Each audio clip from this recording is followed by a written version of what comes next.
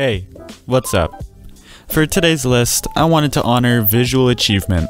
Now, if you've been following my channel for a while, or have talked movies with me on Discord, or otherwise, you probably know that I am a sucker for good visuals. Most of my favorite films of all time are amazing visually, and that's because I personally think visuals add an intangible quality to a film that is hard to describe, but makes a film better in my personal opinion. Before we get into my list, I wanted to give a quick disclaimer that this is my opinion. Please don't hate me in the comment section because a film that you love visually isn't on here. Now with that being said, let's get right into the list. At my number 5 spot, I wanted to give a standout animated film the honors of holding a spot on this list. So many amazing looking animated films and such a hard choice. Films like Prince of Egypt, which had a revolutionary combination of both traditional animation and computer generated animation, while also having beautiful cinematography. Fantastic Mr. Fox for having amazing stop motion, amazing Wes Andersonified cinematography, as well as color grading and just good use of color in general. But even with these two beautiful films like these, I still have to give the number 5 spot to Spider-Man Into the Spider-Verse. Such a beautiful and unique film in terms of visuals. Every single frame in the film could be cut out and put directly into a comic book. The cinematography is beautiful, capturing New York City, the environment, and the movement of all the Spideys in the most beautiful and breathtaking way. Also, the color in this film is absolutely impeccable. Tons of bright and vibrant colors to give it a more modern and fast paced feel, which the film really benefits from. Finally, I wanted to talk about the attention to detail in this film, which is just off the charts. Things like when Miles and Peter have a full conversation while walking up a wall, or something like animating Miles and Peter B. Parker at different frame rates to show the lack of experience from Miles, which doesn't seem like it would be huge, but it's such a little thing that makes the film visually and just as a whole brilliant. For the fourth spot, I wanted to honor one of my favorite directors of all time, just in general, but his visuals are a main contributing factor. This is Wes Anderson. He has so many amazing looking films, films like Fantastic Mr. Fox and Isle of Dogs, which are stop motion perfection, or even The Royal Tenenbaums, which isn't as in your face as most of his other films, but for my pick, I decided to go with the film that is probably the most in your face when it comes to Wes Anderson visuals, and that is The Grand Budapest Hotel. This is easily the best use of color that I've ever seen in a film. It's way over the top, but it somehow works and adds to the overall aesthetic and environment of the film. The bright and loud colors perfectly accentuate the wacky and abnormal world that these characters are living in. Every shot is perfectly placed and makes every still look like a work of art. Like, come on, just look at some of them. Also, the use of color in the costume design is just absolutely perfect. Everything to do with color in this film is incredible, and it also has Wes Anderson's signature cinematography, which is always amazing. In the third spot, I decided to pay homage to a film that revolutionized how people look at cinematography in modern cinema. The American Film Institute sees my next pick as the single greatest American film of all time. If you're aware of the AFI's list, then you'll know that my number 3 spot is none other than Citizen Kane. There are many moments of visual brilliance and incredible techniques that were way ahead of their time, like deep focus, rear projection, and many more.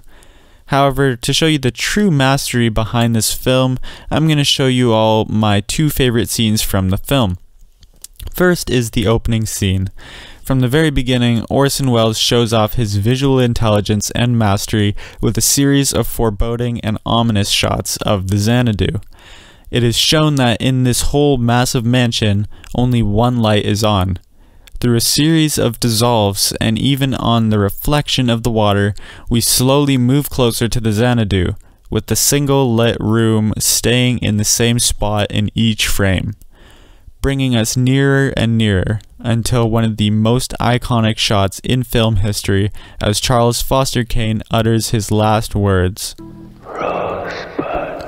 And the next scene I want to show is the one is not really a crazy scene, but it is a scene where Charles Foster Kane is in the foreground and then slowly starts walking back towards the back of a room and shows just how big the room actually is and that the camera was almost deceiving the viewer until he walks back and looks absolutely tiny in comparison to this gargantuan window that is behind him. Just such perfect shooting, and is overall such an amazing film visually. For my number two spot, I have another amazing visual director. This is Stanley Kubrick. He's probably the most widely known director for his visuals, and every single one of his 13 films just look amazing. There are so many to choose from, like the open and ominous The Shining, the exclusively natural light and beautifully landscaped Barry Lyndon, or my choice for number 2, 2001 A Space Odyssey. Such an incredible film Kubrick captures everything from the inside of the ship to somebody running in a straight line so perfectly. But what brings this film above, the others is how he shoots space. It is shot in a way that makes the emptiness of space so relevant to the story and like its own character. When the camera shows you space, you see nothing. Emptiness. But that's not to discount the rest of the film because everything about it is absolutely phenomenally shot. Specifically the really colorful scene and the final white room scene. Just amazing. But coming in at number one is another director that inspires me daily and once makes me want to get into filmmaking and is my favorite director when it comes to visuals. If you know me, you know that it has to be Jacques Tati.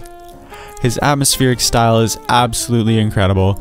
He possesses his signature style in every single one of his films. You can't watch a Jacques Tati film and not feel the atmospheric nature of it. So many amazing films even in his earlier productions like Monsieur Hulot's Holiday and Mon Oncle which both look absolutely stunning, but there is no film like Playtime. Playtime is my second favorite film of all time, and the visuals are the main reason for that. Not one single frame in this entire movie is wasted or unnecessary. You could pause the film basically at any time and the frame would look beautiful. The use of color, or lack thereof, is brilliant. Everything being so desaturated gives the modernized city of Paris an almost lifeless feel when he's at the office building.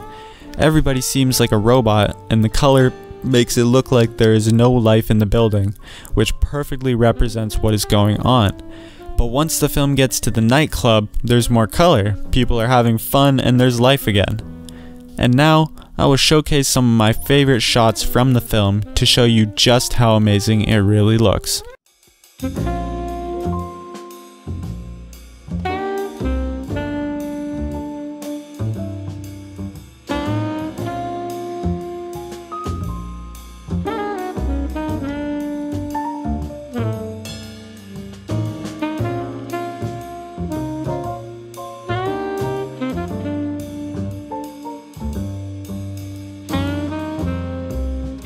And that's all for the list. If you agree with any of my picks, let me know in the comments below. If you didn't agree, I'd love to hear what your top 5 visuals in film are. If you aren't already, make sure to like the video and subscribe to my channel because I'm posting movie content at least once per week.